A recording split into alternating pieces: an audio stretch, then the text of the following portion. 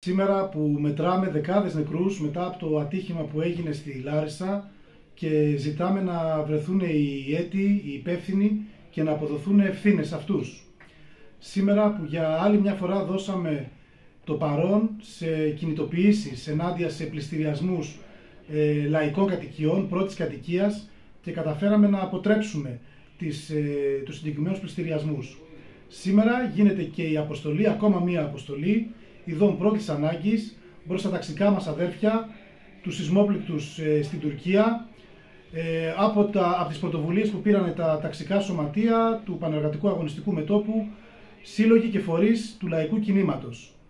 Είναι πραγματικά συγκινητικό το πόσο πολύ βοήθησε ο εργατόκοσμος, πόσο συνέβαλε ο κόσμος για να συγκεντρωθούν τόσα πολλά είδη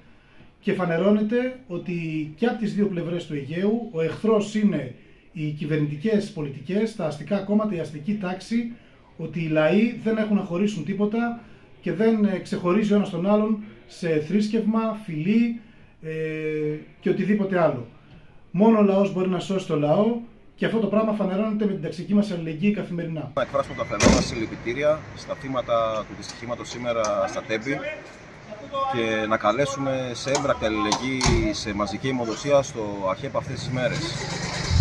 Ε, πρέπει να το αποδοθούν και οι ευθύνες στο ακέραιο και σήμερα όπως ε,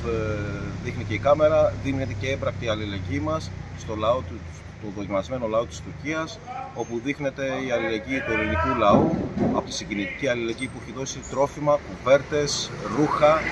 τόνους ε, αλληλεγγύης στο δοκιμασμένο λαό της Τουρκίας. Και δείχνει έμπρακτα ότι οι λαοί δεν έχουν να χωρίσουν τίποτα μεταξύ